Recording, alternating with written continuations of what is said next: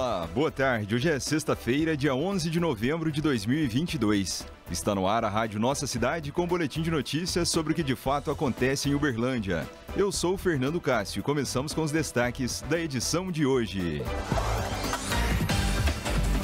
Rádio Nossa Cidade. Inscrições seguem abertas para o segundo Fórum Novembro Branco e Vermelho sobre surdo-cegueira. Confira o que abre e fecha na administração municipal neste feriado prolongado. Prefeitura conclui melhorias na Praça Said Jorge, em Tapuirama. E ainda, Futel Praia Clube disputa torneio nacional de ginástica artística na próxima semana. Essas e outras notícias a partir de agora na Rádio Nossa Cidade. Vem com a gente!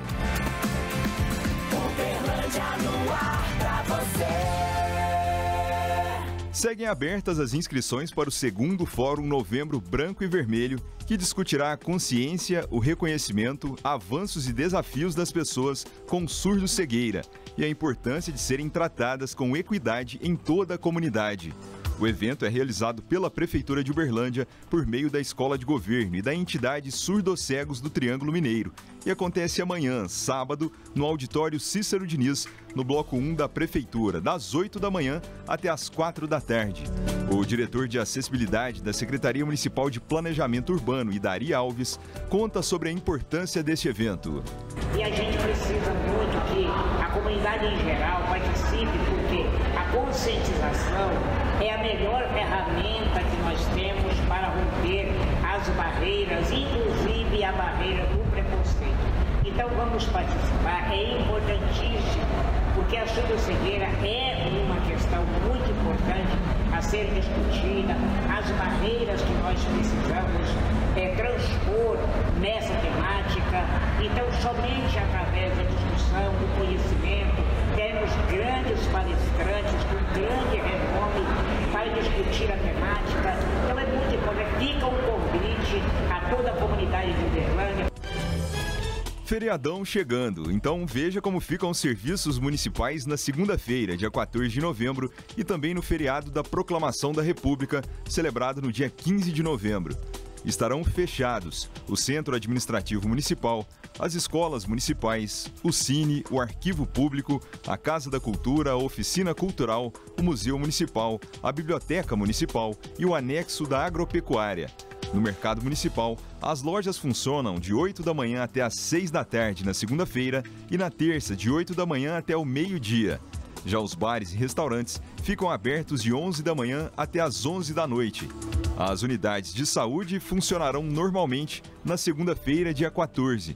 Já no dia 15 de novembro, as unidades básicas de saúde os ambulatórios das UAIs estarão fechados, mas os pronto atendimentos das UAIs atenderão o dia todo, 24 horas. Alguns atendimentos presenciais estarão suspensos, mas poderão ser solicitados. O plantão do DEMAI vai atender pelo telefone 115 a Defesa Civil pelo 199 e o Procon pelo endereço eletrônico faleprocon.uberlandia.mg.gov.br. O transporte coletivo na segunda-feira, dia 14, vai funcionar normalmente e no dia 15 vai atender com a escala de domingo. A coleta seletiva, na verdade a coleta de lixo, acontecerá na segunda-feira normalmente e na terça não haverá as coletas de lixo domiciliar e seletiva. Praça Saíde Jorge, em Tapuirama, recebe melhorias. A Prefeitura segue promovendo melhorias nas áreas verdes, a fim de oferecer mais lazer e qualidade de vida à população.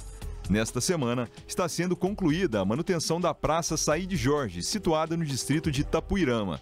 Iniciado na última, na última semana, o trabalho realizado pela Secretaria Municipal de Meio Ambiente e Serviços Urbanos é, na parte da limpeza foi realizada a roçagem e varrição completas. Também foram pintados os banheiros externos, paralelepípedos e o palco cultural.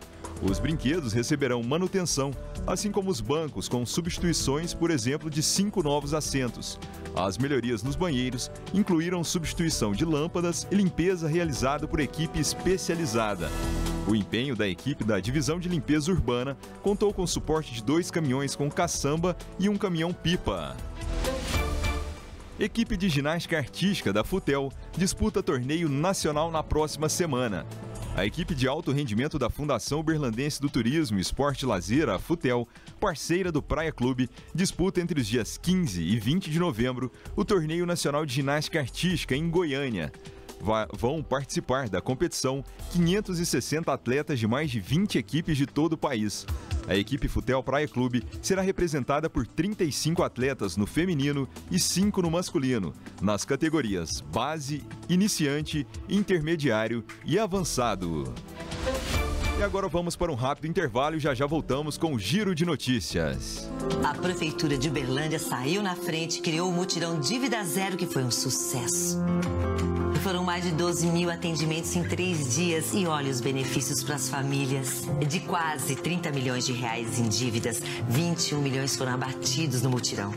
Um desconto de 70%, que trouxe pagamento para as empresas e um sono tranquilo para muita gente. Isso é um jeito diferente de ajudar. Prefeitura de Uberlândia, fazer mais, fazer bem. Giro de notícias. O Busão Social já tem novo destino a partir de quarta-feira, dia 16. O serviço itinerante da Secretaria Municipal de Desenvolvimento Social, Trabalho e Habitação estacionará no bairro Santa Mônica até o dia 18 de novembro, com atendimento das 8h30 da manhã até a 1 da tarde. O veículo da Prefeitura ficará estacionado na Praça Luiz Finotti. Residentes do bairro e adjacentes poderão solicitar inserção em serviços, programas, projetos e benefícios, além de fornecimento de encaminhamentos para solucionar demandas apresentadas pelos moradores. O IPREMO segue com o recadastramento anual obrigatório de aposentados e pensionistas nascidos no mês de novembro. O procedimento é popularmente conhecido como prova de vida. Para se recadastrar, é necessário apresentar documento de identificação com foto, CPF e comprovante de endereço recente, caso tenha se mudado no último ano.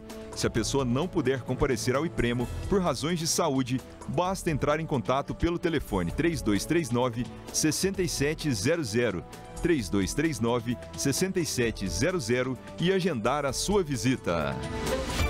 Com o objetivo de potencializar as criações e apresentações artísticas no município, a Secretaria Municipal de Cultura e Turismo recebe até hoje inscrições para oficinas que serão ministradas em espaços públicos com temáticas de dança, literatura, música, teatro e jogos. Também terminam hoje as inscrições para interessados em utilizar o Cine Teatro Nininha Rocha para a apresentação de espetáculos artísticos culturais de teatro, dança, música, audiovisual e eventos culturais diversos.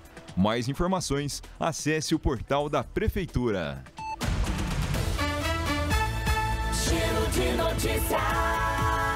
E a edição de hoje fica por aqui. Agradecemos pela sua audiência. Tenha um excelente feriado. Rádio Nossa Cidade. Jornalista responsável pela edição Bia Montes. Tradução em Libras, Amanda Valentim. Responsável técnico Cristiano Silva. Secretário Municipal de Governo e Comunicação Marco Túlio de Castro Kalimann. Prefeitura de Uberlândia. Fazer mais, fazer bem. Até a próxima. Fica por aqui mais uma edição do programa da Rádio Nossa Cidade. Continue conosco no portal da Prefeitura e nas redes sociais.